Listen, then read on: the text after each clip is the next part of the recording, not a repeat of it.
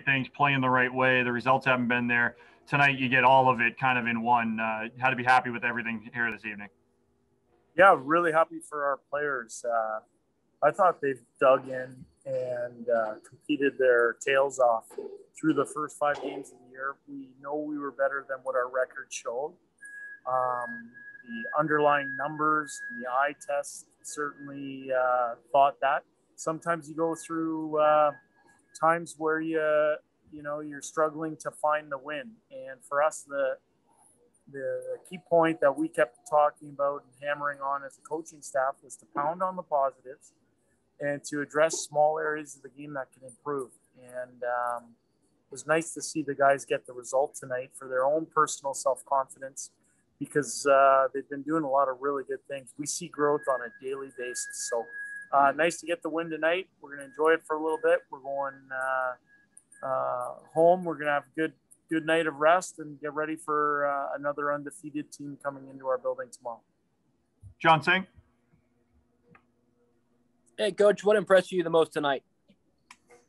Well, I thought um, I thought we really committed early to getting pucks behind uh, their defense corps. And uh, we were able to play behind them. We were able to put some mileage on their decor. Um, they had two guys sent down from the NHL to get them a little bit of game action. So for us to make those guys work and uh, guarantee pucks deep and and commit to the grind down low, I thought that was excellent. I thought um, our special teams were um, elite tonight. We scored a big power play goal and uh, we had uh, three penalty kills, including a five on three. So our commitment to the win was there. It's something to build off heading into tomorrow night.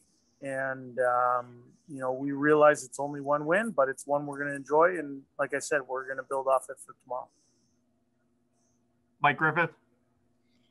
You got three guys who got their first goal tonight. How important was that? And then a lot of goals close in, deflections, chipped in. Is that the type of play you want to see?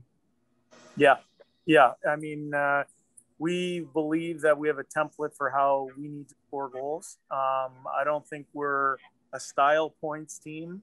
I don't think we're um, you know going to stick handle every goal into the back of the net or score from long distances. I think we're a team that uh, scores dirty goals, is willing to put pucks on the net to compete for second chances and and be around the blue paint. So for us to score those type of goals tonight, I thought it was positive.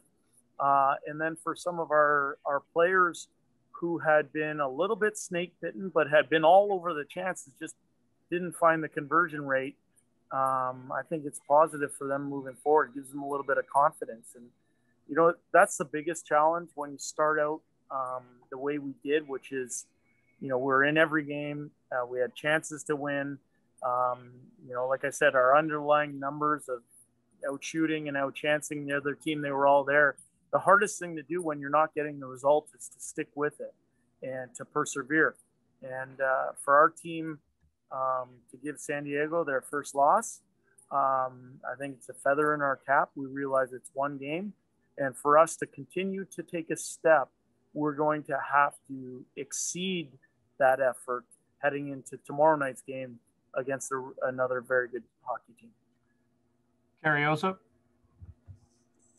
Hey, coach. So I just want to get this from your perspective, having played professional hockey. I mean, I can only imagine when I think that the energy of the crowd definitely plays a part in the game. But tonight, it just seemed like even the shots that missed, there was just so much talent out there and so much speed.